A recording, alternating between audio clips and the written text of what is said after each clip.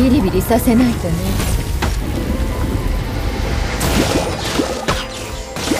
いたはっはっはっそれしびれないやしびれなさいい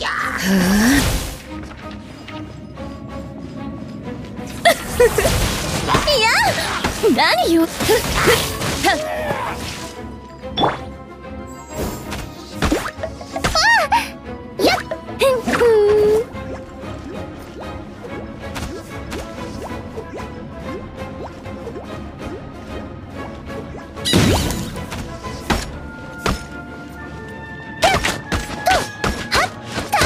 感電した敵の間には連鎖ダメージが発生するわ。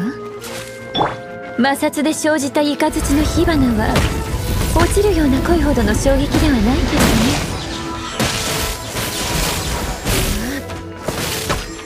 はっ。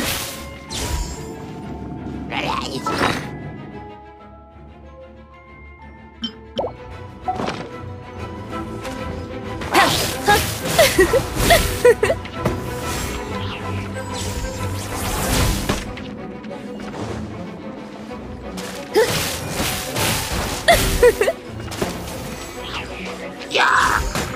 しびれなさ。いふっ。はっ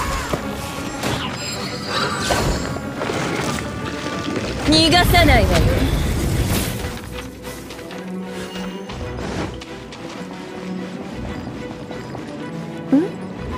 ん？私の首にある宝石が何かって？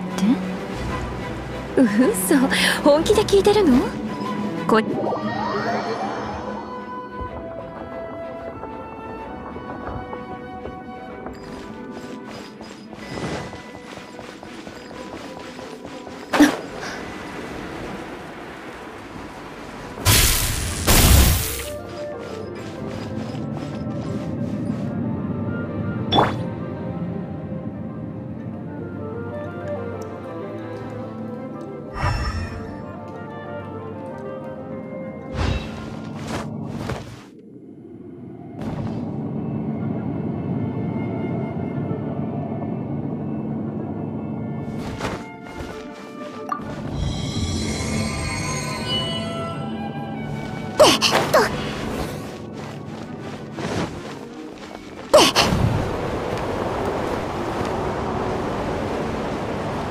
神の目も知らないなんてあなた一体どこから？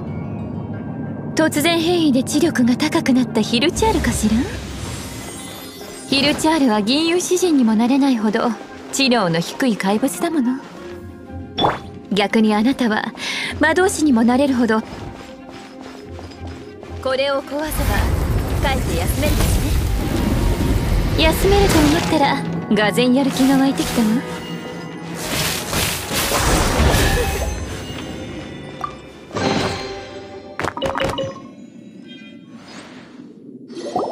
東風の竜トアリン南風の獅子ダンディライオン北風の狼ボレアス西風の鷹セピロス。それらはモンドの四方の風の守護者で風神バルバトスの剣トワリン。それが風魔竜の名前よ。人々に風魔竜と呼ばれる前かの者は四方の風の中でトワリンがそのうち三つの力しか使えない原因がこれよ。彼は初めに自身の力を燃やし尽くしてしまったからね。多分憎しみだと思うわ。憎しみ？モンドに対する憎しみよ。その憎しみを風よりも強い力にしそして彼は魔竜になった。でも四風守護だったのになんでなんで守るべき都市を憎むようになったんだ？モンドの人間としてはとても言いにくいわね。これを読むといいわ100年以上も前の出来事よ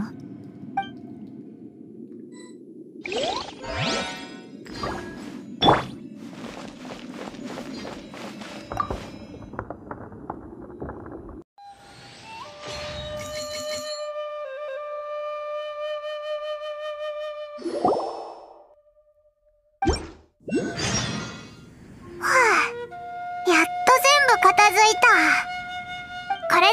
モンドの元素の流れも地脈の循環も元通りになるだろうな。騎士団に戻ってみるか？もちろん他にやりたいことがあったらオイラも付き合うぞ。そうだ。四風守護の神殿でま今後も入手するかもしれないけど。